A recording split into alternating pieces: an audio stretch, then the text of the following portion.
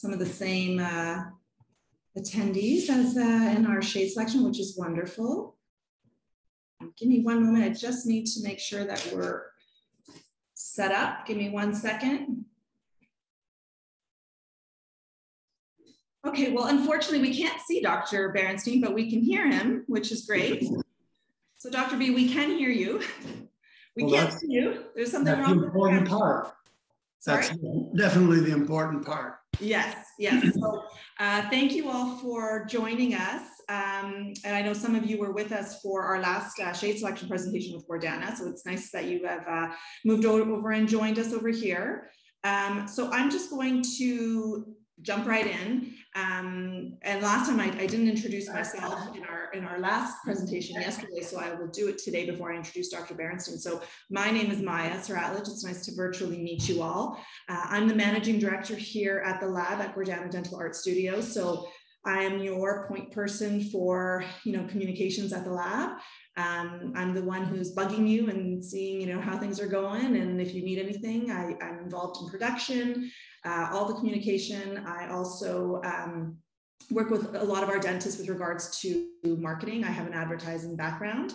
Um, so, you know, if anybody ever has any questions of that sort, uh, I'm definitely here to help uh, with that. Um, and so enough about me that we're here to listen to Dr. Berenstein. Um, so for those of you that don't know him, um, Dr. Berenstein is a graduate of the University of Toronto and received his specialty training in prosthodontics in Houston, Texas. He completed his residency at Sick Kids Hospital, um, and he was the founding president um, of the Ontario Study Club for Osseointegration and Implant Dentistry. He is a past president of the Association of Prosthodontists of Ontario. He recently retired and sold his private practice, which we at the lab were very sad about since we, Gordana worked with him for, I believe, over 35 years, I think almost 40. Uh, but we're really excited at the opportunity to work with him in a different capacity, um, in an educational capacity. So, you know, one of them is uh, holding lectures like this one. Um, but also, uh, you know, we'll be having more lectures with him that are going to be, you know, range of, uh, of topics. And also the most exciting one is uh, that we'll be working with him to provide dentists with one-on-one guidance for uh, patient uh, appointments. So for, you know, we've got a patient room here at the lab and we're happy to have you come to the lab and schedule an appointment with, uh, with Dr. Berenstein and Gordana will be there as well.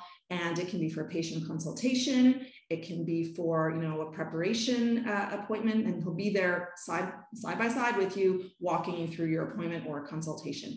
Um, so we're, we're happy to uh, be offering that very soon um, in our in our new facility that we have here. Our, our patient room uh, doesn't. Uh, we just need to make some minor tweaks to be able to see patients for um, preparation type uh, appointments. But for everything else, we're ready to go. So uh, we can um, we can talk more about that at a later time. Um, aside from that, Dr. Berenstein, uh, what else can I tell you about you? You're still teaching, he is still part of the community as he teaches at University of Toronto in the prosthodontic graduate clinic.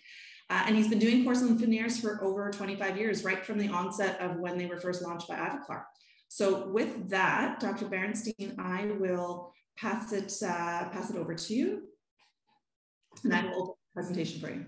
Yeah, go ahead and put up that first slide and I'll go, and they, somebody was asking um, how long I will be talking. Oh yeah, about, till about two, I would say, including questions.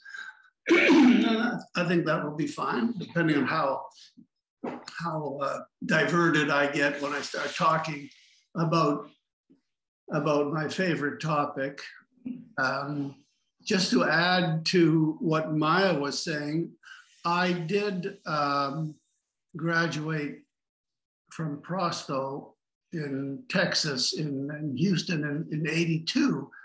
But, you know, and, and if you look back to 1982, things have changed rather rapidly and, and, and changed for the better. But I can tell you that in 1982, 83, we started doing implants in our office on Bathurst Street.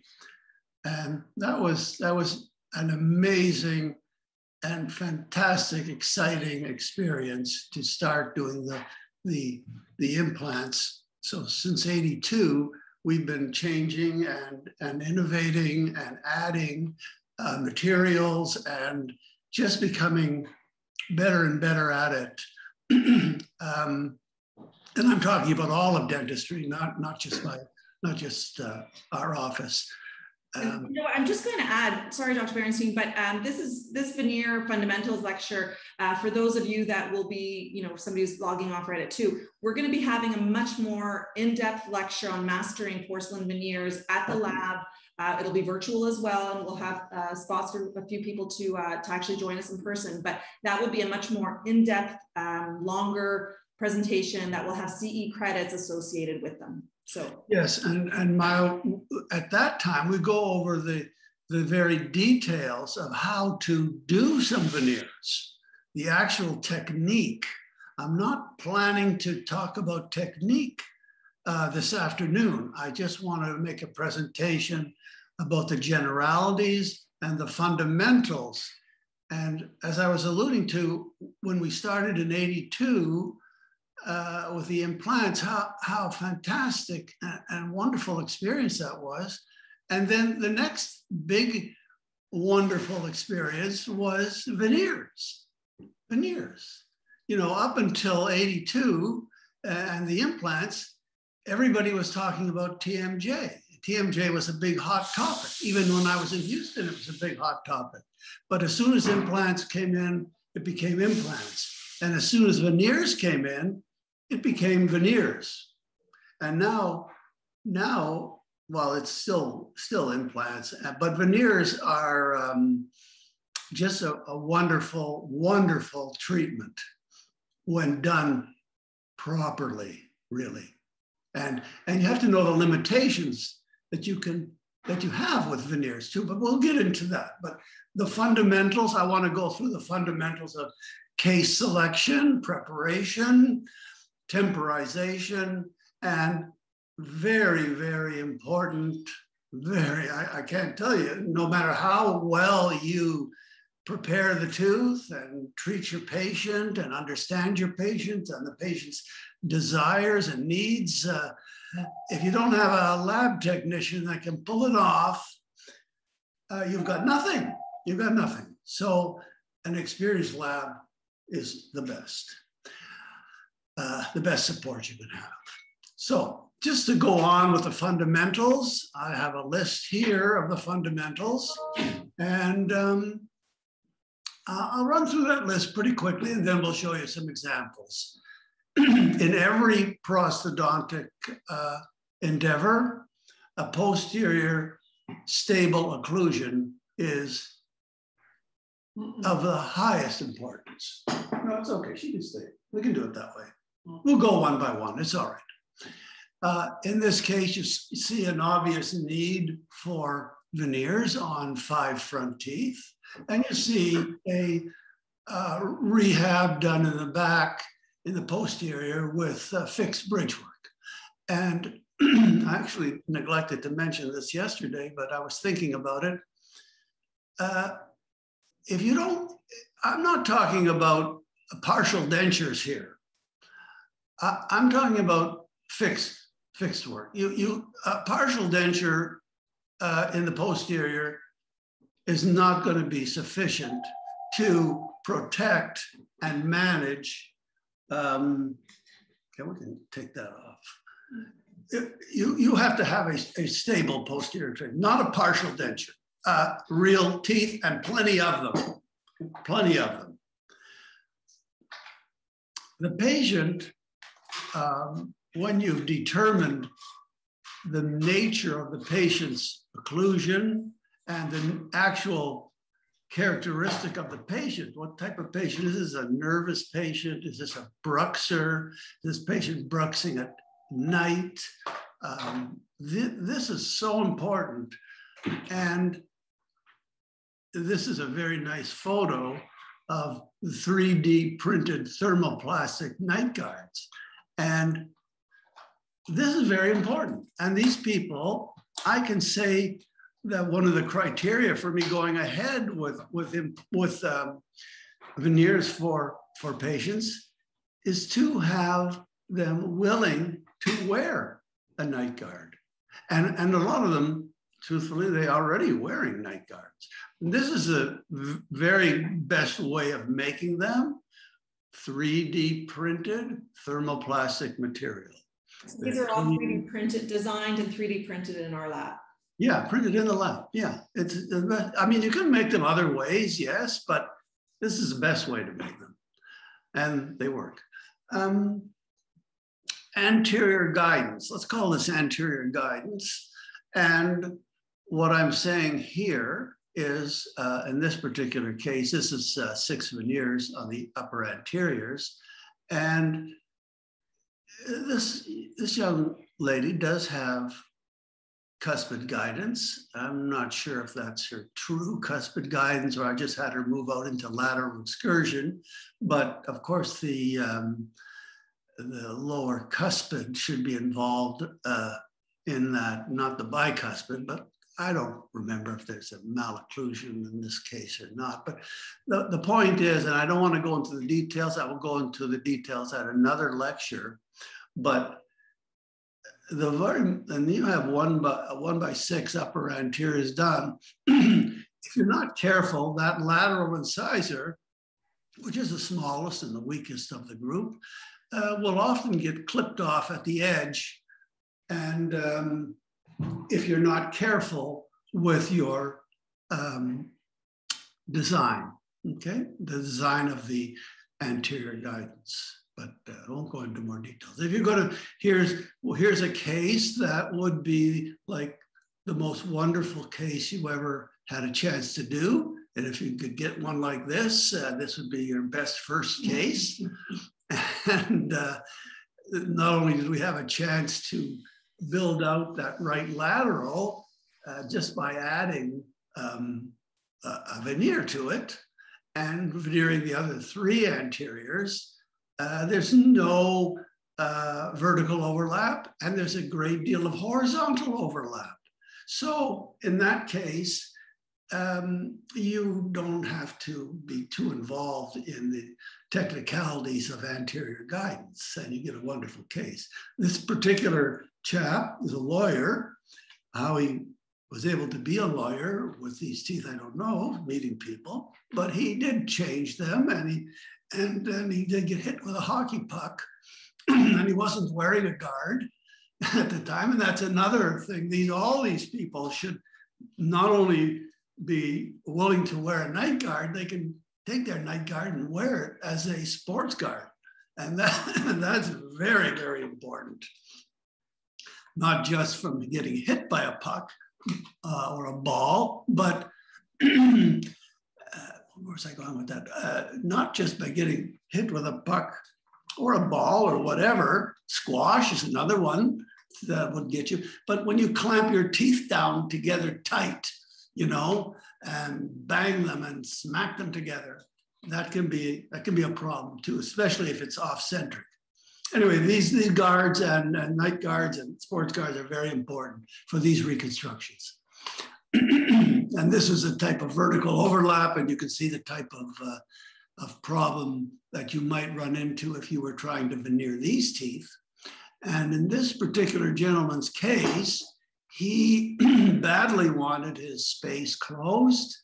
And although I have done it with veneers in special cases, because you can move, they don't see me, but you can move everything mesially. You can move those laterals mesially, the cuspids mesially, and you can close the space pretty much. But then you have you have height problem because you have to have length, and patients have to be willing to to undergo a lot of treatment. Now this, I'm not going to show this whole case, although I will show it uh, in another meeting. Uh, this, we did orthodontics here and we did periodontal surgery here. And we got uh, an amazing, amazing change uh, for the better for this chap. Yeah. And uh, as I was alluding to just now, patients need to be able to um, uh, have crown length and submit themselves to making the case perfect. Because if, if they want to make the case perfect, and most people do, um, you have to do crown lengthening quite often. And you can see in the top photo, the um, gingiva is showing in the smile and the big smile. And she did have a very big smile, but just the same, after crown lengthening, um, we did veneer uh, 10 teeth for her, maybe 12, forget.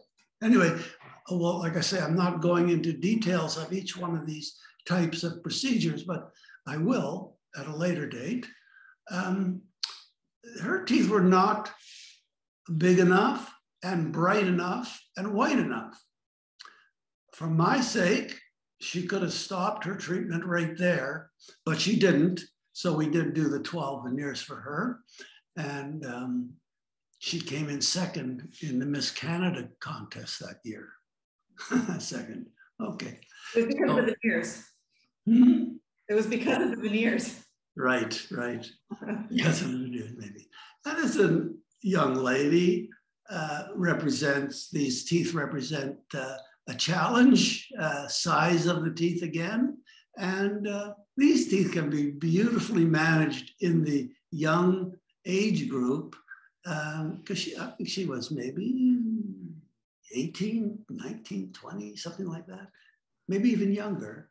And um, we did, uh, I think, uh, six veneers for her. And again, I don't have the, not showing the whole case, but what I'm showing is the possibilities um, that you of, of doing wonderful things for people. And I'm showing you that the size of teeth has to be taken into consideration because you don't want to wind up with gigantic teeth. You know, there are there are techniques for doing no prep veneers. Maybe we move on to just the next. Oh no, okay, I, I won't jump ahead. I, I, won't jump ahead, but biotype. Okay, no, no, go ahead, go ahead.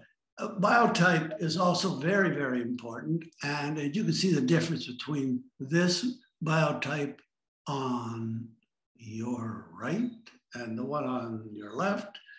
It is a thin, uh, receded type of biotype. And this on the right is a thick, heavy keratinized tissue.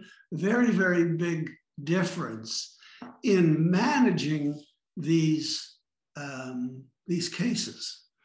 Um,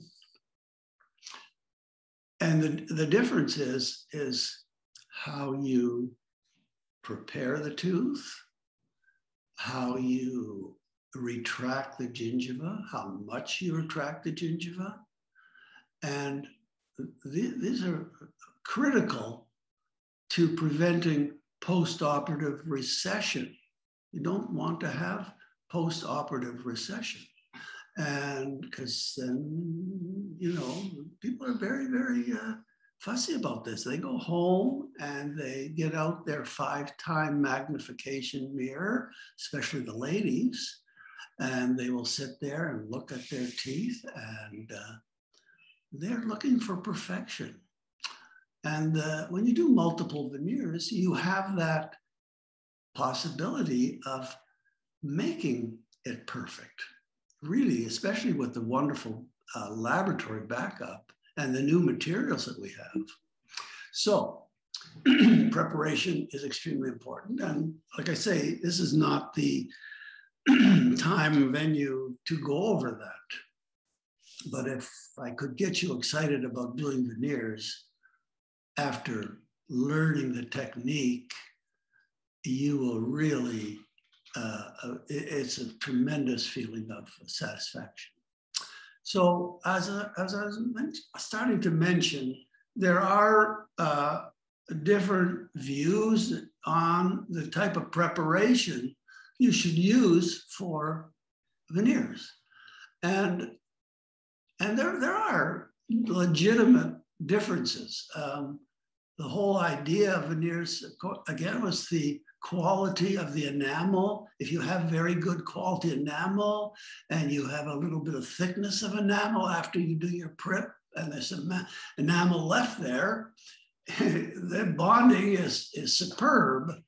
Uh, to that enamel, and maybe a minimal type of preparation is, is good.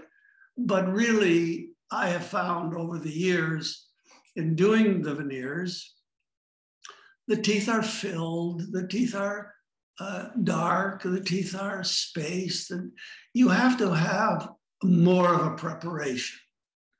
And the type of preparation I use is a reverse three quarter crown. where the margins on the mesial distal are hidden and the incisal edge is protected. Um, and we do that more or less depending on the aesthetic requirement, uh, depending not so not so much the aesthetic requirement, but the um, the functional requirement in, in anterior uh, guidance and lateral guidance, et cetera, et cetera. No prep veneers can work. Um, but there's a very, very, very special case comes by once in a while that you can do a no prep veneer. And even when I do a no prep veneer, I still do a, a minimal prep for uh, the um, finish lines, for the finish lines. And, you know, unlike California, which really went crazy with the no prep veneers and so many people have huge white teeth, very, very big white opaque teeth. And um, it's almost as if they were, the patient was photoshopped, had their teeth photoshopped, and that's what they have. And uh, that's not a look that I've ever been uh, uh, trying to achieve for people, although, and this is very important, that when you interview the patient and you find out, try to find out what that patient is thinking and what that patient would like and what the, the lifestyle that that patient has, then you, you really may have to tailor your, your treatment. For example, has the patient had uh, Botox, fillers, you know, lip fillers and facelifts and this sort of thing? There's a different patient to the patient you're looking at right now on the screen. This patient just had. But always do diagnostic wax. Yeah, oh yeah, we'll get to that. Oh yeah. Um, this patient, uh, in this, this particular slide will show you the type of uh, preparation that I do for the most part. It's a minimal reduction. As you can see, that is a lot less reduction than you would use for a crown. a full crown. The whole lingual is untouched, just the labial, interproximals, and over the incisal edge, and all the porcelain that is put on there. Uh, I'll say porcelain, but it usually is Emax material, with maybe veneered with porcelain. But that's right. Yes. Yeah. So and um, they have they have to be fully fully supported to to uh, stand up. And that that happened to be a pretty good slide to show and a good biotype. You can see a very thick gingiva good biotype for for that that type of case. And that's a, a, a fella as you can maybe tell that's a fella. Um, so i think one of the big big problems we had at the very beginning of doing veneers we we were trying to uh, do them without having to make um, having to make temporaries. So we would just do a very, very minimal uh, treatment and send them home. But but that didn't last long because we found we really couldn't do a lot of cases that way. So we developed a technique for doing temporaries. And there are different ways of doing temporaries, of course. And uh, the, the, the most common way that I used to do them before high tech came into vogue was simply with a skinner or a template. And is that the next slide? My, but yeah, either with a, uh, an acrylic clear, like an, like an Essix, um, and these can be lab processed. If you have a vacuum form in your office, you can make them in your office. We made them in the office. And often Gordana would make us a, on the lower slide there, that's a, um, Silicone. yeah, silicone putty. And they're very, the silicone putty is very, very accurate. I mean, it's really, really, the, the result with the silicone putty is actually better than the result with the, with the suck down um, template. Let's go back one slide, Maya. And um, yeah, and the material that I use in the office is, and you can mark this down, it's a new outline. It's a PMMA type of acrylic, but it's fortified with a composite in it. So it doesn't change um, color. It's easy to work with once you've done a few. It sets slowly and it comes in multiple colors. And often we would blend colors with this. So this uh, is a very, very good material. It's a little more expensive than regular acrylics that you use for temporaries, but it's very, very, very good.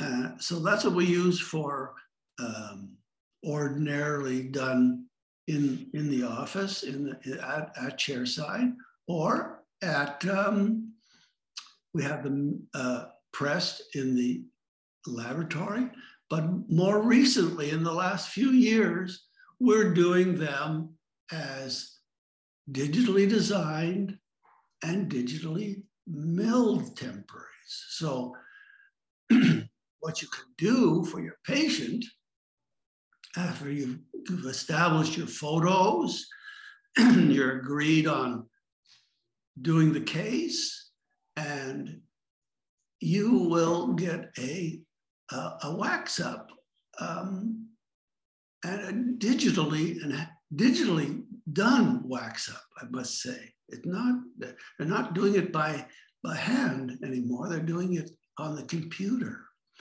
And um, and the great thing about this is, sorry to interrupt, is you know, when we digitally design these diagnostics, we email them to our doctors and you can give us feedback before you even, you know, get the physical model. So you can let yeah. us oh you know, change this, make this longer, this shorter, and we'll get it to a place where you're happy with. And then we 3D print the model and send it to you with, uh, you know, a silicone matrix or putty, uh, or we'll mill them in the lab. So whatever kind of preference uh, doctor has, but you know, whatever we digitally design, the temporaries will look, you know, exactly that way the milling in the um, in the lab is just an outstanding procedure.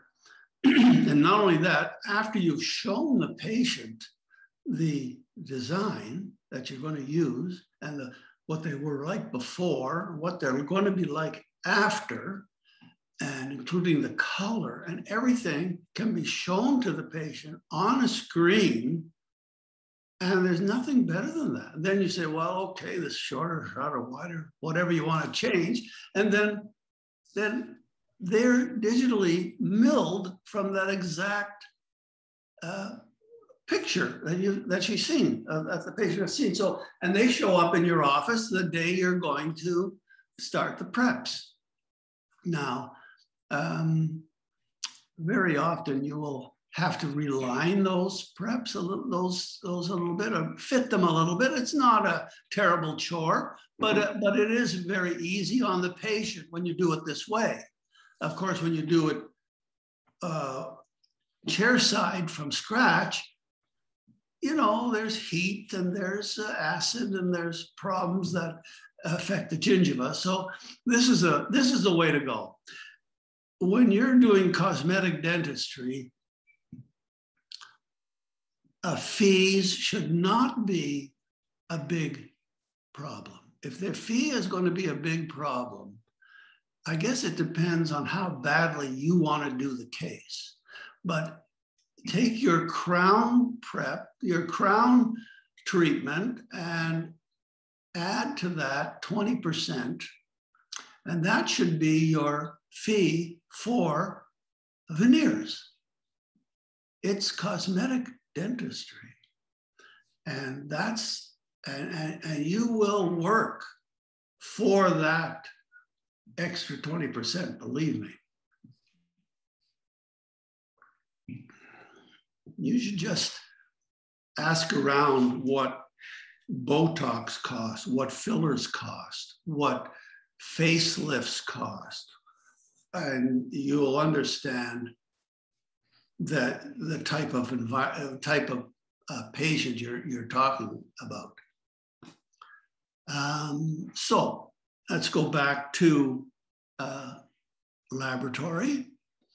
And um, certainly Gordana is very willing, and uh, I'm even willing to uh, be involved in a consultation before proceeding. and um, at that time, shade selection can be done. And you can talk about, get an idea about what the patient expects, because sometimes the patients have higher expectations for the result and perhaps even for a change in their life for getting these veneers on their teeth. So you have to really know who you're dealing with before you start. And especially if you have a trusted uh, laboratory technician you can work with who's willing to uh, put in that extra time, uh, you'll get you'll get great results. Um, yeah, high quality digital design software is here at the lab and uh, hardware, all the, the latest, latest and best hardware is here at the lab.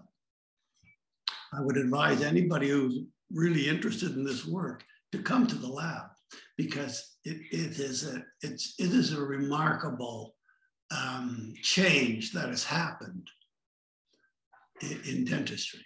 this is just uh, one before and after slide that we happen to put in, and you can see there's trouble with composites done interproximally over the years and staining and twisted teeth that were not uh, exactly straight. There's always a little shadow in there between the two centrals. And then uh, putting the veneers on, you get a very natural look. You get rid of the shadow in between, beautiful smile like that, and a natural look. Okay, so that's really all I have to say about that. Um, I did make myself some notes uh, to add in. And after Gordana's lecture, I wanted to, I don't know if we talked about it or not, but with veneers, you don't have the advantage of doing a trial cementation. We did do trial cementations at the very beginning of doing them many, many years ago, but, uh, and even, even with the, um, even with the Emax crowns, and I don't think at that time they were Emax, they were a different one. They were Empress crown. And you had to cement those. They never did get the very, very strong um, strength. They didn't get strength until they were cemented. So if you put them with temporary cement, uh, from time to time we'd have a broken one within a week. So with the cosmetic dentistry, crowns, I would strongly advise trial cementing the new materials, especially the uh, the new Emax and the uh, zirconium. I never had any breakage uh, in, during trial cementing. Um, but you cannot trial cement veneers. Maybe you could do it for a few hours because they're going to come off. Uh, and they're going to be it's going to be a problem. I don't trial cement veneers, so you have to be very very confident when you're cementing, and that that whole process of cementing a veneer is complicated because you have to determine the color of your cement, and you have trial cements to try, but it, it is a tricky, and I will, like I say, I would love to go into that with everybody with the proper slides and everything, but uh, we're not trying to do that today. We're only trying to wet your whistle and uh, make you interested in doing some veneers, understanding some of the, the problems that can arise. So we'll open up to questions, and just before we do, um, you know, you see it here on the slide. We're going to be offering a more in-depth lecture, which I mentioned at the beginning.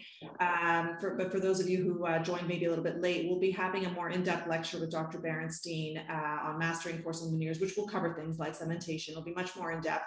Uh, there will be CE credits uh, in, involved with uh, that lecture. It'll be on Thursday, June 24th. Um, we've recently opened, uh, moved into our new facility, so we've got a really large lecture room. So uh, while this lecture on the 24th will be uh, virtual via webinar and Zoom, we will have um, places for you know accepting some um, some doctors in house as well, but we'll be limited to the number based on COVID restrictions. Um, but I'm going to stop sharing my screen, and let's see, there are a couple of questions. Dr. Berenstein, can you see the question on the screen? No. No? No. Okay, so uh, moderate to severe wear cases, what guidelines do you use in choosing crown versus veneers in desi uh, desi desired increased tooth length, tooth length, assuming tooth structure is sound?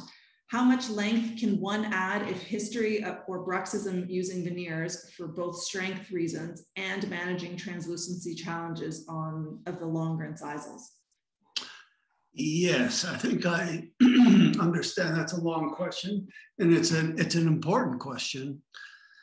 And uh, I think what, what you're asking is, and this is certainly something I would feel more comfortable actually seeing a case. But a couple of millimeters is probably tops in my uh, feeling about a veneer going down, uh, extending on the incisal. Would you say that? I wouldn't want to go any further than that. If, if I had to go further than that, I would have to be start to think about doing crowns so I could get better uh, better strength at the incisal because you have much more bulk of material at the incisal um, if it's if it's not supported. If you remember back to that picture, uh, those see, there wasn't much enamel on those uh, teeth. It was just really dentin, and we're what we're we're hoping we have, but we have good good support and good bonding. There's reasonable bonding to dentin. And of course, uh, you have mechanical retention because you have the sides and the overlap and everything like that. So I would say if I have to have a number, two millimeters, more than two millimeters, go to a crown. Uh, sometimes you have uh, half the tooth is broken off from a, like a, we used to call it a class four, but you know, maybe it's a mesial incisal fracture. And I've put pins into those teeth and built them up with composite and then done a veneer over that. That works. But if the entire tooth is short, no, it's got to be a crown. Got to be a crown. That answered the question, uh, Dale. If, if, it wasn't, please, uh, you can send us another one. Um, we have a question. Oh, it's more for for the lab. So uh, somebody is asking what the cost of a milled temporary is for anterior six, and also what a diagnostic uh, design would be. So uh, I'm happy, uh, Erickson, to share uh, our lab fees for um, for things like that uh, that I can email to you um, after this. So. okay, John is asking, please comment on the cement that cement that do not change color after cement. yeah, uh, that's my wish. When I was doing veneers, that was my wish. I go to sleep at night thinking about that. Well, the, the closest we can come is we have the, the uh, trial cements, but you always have to think it's going to be a touch darker. Now, a touch to you and a touch to me could be different amounts, but it, the, veneers the next day are going to be not, not quite as light as they were, no matter what cement you use. And I think we're going to have the Ivoclar rep with us when we do that meeting. And, um, and we'll show more slides, of course. But there's no magic there. You just have to realize if you're going to aim for something with your trial cement, aim light, not, not, not perfect, aim light, because it will darken down a little bit. And that's just a tiny bit, okay? No, it's not, not, not, a, not a great deal. I hope that answers the question. And, and like Dr. Berenstein said, um, we will have Ivoclar uh, with us for the presentation in June uh, with the CE credits that will be included um, with that. And they will also be, they've offered up uh, a couple of prizes. So, uh, I mean, I can mention them here. They're going to be offering uh, a Variolink Aesthetic Light Pure Kit, uh, as, well, as well as a bottle of Ivoclean. So that will be given away at the lecture in June. Uh, so we've got another question. Um, are the mill temps like full coverage shell temps in that they require relining with uh, bis-acryl? Yes, the question is, the answer is yes. Yes. You can't, you can't expect them to come on to go to fit. Um, I have done, I can tell you what I have done. I have done preps and I have made chairside temps, made an impression, and had milled temps made on the preps. Sometimes they were not, maybe they, in those days, of maybe not milled, they were processed, but two sets of temps. Because this is part of the extra 20% that you charge for this type of cosmetic dentistry. Um, so yes, you can get them to fit, but but you have to take an impression. If they come back uh, as as we like to do them, then they will be relined, and you can reline them with um, any acrylic. And I like to use, uh, like I say, new outline. It's very strong. It will adhere to the um, the mill temps. What are the what is the material of the mill temps? It's PMMA. it's PMMA, and so so these are PMMA too. So they will bond to it, and you get a and then you re uh, re um, trim them, and uh, that's a, you get a great result. It's just a great result. Yeah. Uh, Dr. Berenstein, I have a question that I got from one of our doctors uh, earlier today. Um, so maybe you know I, I, think it might help here as well uh, who was asking you know once they've tried in their their emax veneers which the lab sends to them etched if they try them in uh, hmm. with maybe temporary cement do they need to re-etch them? Yes. Okay. Yes. Don't fool around. Yeah. It's, it's not a big deal. You can if you if the lab isn't uh, hey, uh, near you or something, you can do it yourself. It's, um, it's uh, just as if you were doing a porcelain repair. Right. And you would use what the Ivoclean, the Monobond Plus, and then yeah. Yes, definitely. All of that. All of that. And then go to it again. Even after we uh, if, oh no, well, well, you know, we're using a lot of composite cements now that we weren't using years ago.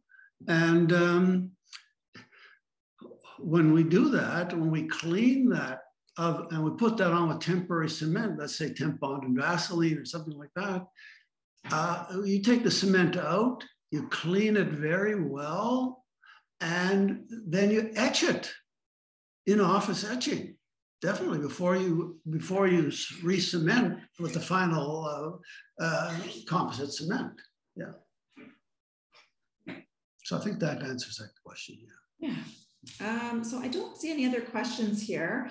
Um, like you know, we we keep mentioning there will be a, a more in-depth lecture in June. Uh, in the interim, uh, you're all welcome to connect with me via email or uh, connect with me for a live Zoom call, and I can show you some of our work. If you want to see some of our uh, our work from the lab, uh, I think I mentioned it earlier, but you can uh, go to our Instagram profile, and even if you don't have a Instagram account, you can just uh, visit Instagram through through a website um, through the website and search for us at, at Gordana Dental, and there you can see our day to day work. Um, so you know we'll, we share pretty regularly regularly, you know, everything from a highly aesthetic case to, you know, a single monolithic uh, zirconia crown.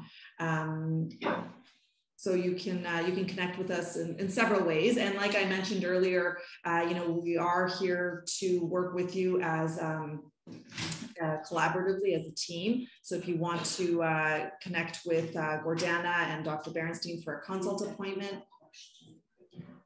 yeah, so we can book that appointment. You can bring your patient here. You can call. You can send pictures, and uh, with any kind of technical questions, and we're we're we're here to help. Um, help you be more confident in, in whatever restoration that you might be nervous about, or if you just want some additional support, uh, we're here for you. So we're, we're here to work as a, as a team collaboratively with you. Uh, so I, that's all I have. Um, thank you very much, everyone, for uh, joining. Uh, like I said, reach out if you have any questions. Oh, wait, there's one last question.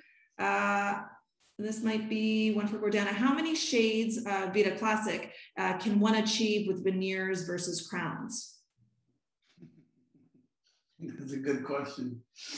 Well, usually every patient, uh, the reason why they're doing the veneers is uh, either the spacing, the position of the teeth, but 90% they want to change the color. So the most used shade is A1, BL3, BL4. Uh, so, you know, it's, it's, it's, a, it's a white shade, just a white shade. Yeah, I did have one patient that sticks out in my mind, and she's in the presentation as well. Uh, she, we did our upper anteriors, and um, when I put the temporaries on, the temporaries were A1. Well, she just went crazy. She literally went crazy looking at those teeth. And I think we wound up making her teeth A3.5. she just didn't want her teeth to stand out. She wanted them to be very, very much blended with her other teeth. So you you have to be careful, but most patients are going to have A1 or O1 or yeah, B1 yeah. or B bleaching bleaching shade. Yeah, it's, yeah. it's a lot of people, um, they try to bleach first. And uh, most of the time what's happening is if they have the, uh, the chroma stronger, they remove the chroma, but then the translucency comes uh, out more and the teeth become gray. Mm. So in order to cover that, you know, and then uh, they're never happy with their teeth. So they realize that the, by doing the veneers, they will have stability of the color. So saying that, then we go to the bleaching shade guides. And, you know, uh, as I said, the most common is uh, uh, the uh, bleaching shade guide, like BL3, BL4, BL2, if they push the envelope to be very light. But I'm always saying, like, you know, if you do that, then you should really do something with the lowers, you know, if it's a huge uh, difference in color. So they would go and they would bleach the lowers. So, you know, people looking themselves in the mirror, they don't see the lower. But when we are studying the patient, we see people more showing the lower teeth uh, than the upper. So you know, as I said, mainly mostly bleaching shades. Uh, we actually, we have a comment here. It's actually a, um, uh, for you, Dr. Berenstein, it's a, it's it's actually a really great uh, thing to hear. Listen to this. So, uh, John was at a wedding a couple of years ago, and the guy next to him was a very high end public TV personality. And when he heard that John was a dentist, he asked him who he thought was the best dentist in Toronto. And John said, Oh, Harold Berenstein. And uh, this public uh, TV personality said, "Oh, I already go there." So it was uh, it was a patient of yours. So that's a nice compliment to hear. And uh, you know, Gordana probably worked on his case with you. Now we had a few uh, a few um, notables, you know, people on television. Yeah. Weather weather girls and uh, lots of uh, people like that. Yeah. I think the coolest one was Eugene Levy. Like I, I never got to meet him because this was yeah. 20 years ago, but uh, that one was cool. Um, another question uh, from Dale. Can one move from, for example, from an A3 to a B1 with veneers, or do you need to, do you need to do crowns for this? See, that's a big problem, you know. It depends on the depth of smile. And this was a really big problem. and I have cases to show that will that demonstrate that you smile and you show from the mesial of the six to the mesial of the six. And if you change the shade of the six anteriors, it looks stupid because you have this very dark background and six front teeth that are white. But can you achieve can you achieve that with a veneer? That I guess it depends a bit on the stump shape too. Well, I know lots of veneers on bicuspids and yeah. But also, also as Dr. Berenstein mentioned in his first presentation, uh, you can't do uh, uh, reduction only 0.5. You gotta go a little bit more to give the depth and the thickness of the material. Yeah. We do have higher opacity uh, material that we need to use the uh, to cover that. But Ivoclar has the material that you can go over dark teeth, bond them on, like it's a pure white, uh, like opaque uh, material, but you need to bond it. And then you have to, after that, to take the impression. But saying that, the reduction has to be much more, so close to a millimeter. Mm-hmm. I've never done it that way. I've never done it that way. I, I have replaced composites for sure. Take old yellow composites out and put in nice new white ones. And uh, that works. But I've never done the technique that, that uh, Gordana just mentioned. Yeah, well, I've, I've, we've done a few cases I, I, and the result was really good. Uh, what, you know, if you're asking me about the bonding, uh, I, I'm not too sure how, uh, you know, the quality of the bonding between the, uh, this mm-hmm. material, it's called direct opaque. So you're really painting it, you know, and the, so the main problem usually is the gingival third, where we need to be very thin, you know, because you don't want to over contour your uh, margins. And, you know, so I've done it few cases and uh, they looked really amazing. But you know, it depends on so many things: the smile line, the amount of fillings in the teeth, the quality of the enamel. Each one is a is a value judgment on its own. But that will be like more like three quarter crowns. Yeah. Oh yeah, for sure, it's a three quarter crown. There's nothing wrong with a three quarter crown. Done many, many, many three quarter crowns, reverse three quarter crowns and I have no problem with it. Okay, well, uh, we're just about up to two. I know uh, there's lots going on with the virtual ASM. So uh, Thank you, everyone. Again, we were at the virtual uh, uh, ASM this year. You can visit our virtual exhibit and uh, learn a little bit more about, about us personally, the lab. Uh, but if you have any questions after, after this uh, lecture, please feel free to reach out to me via email and I can connect uh, your questions with either Gordana or Dr. Berenstein, or if I can answer them, depending on what the question is. So thank you all for attending and hopefully we chat soon. Thanks so much.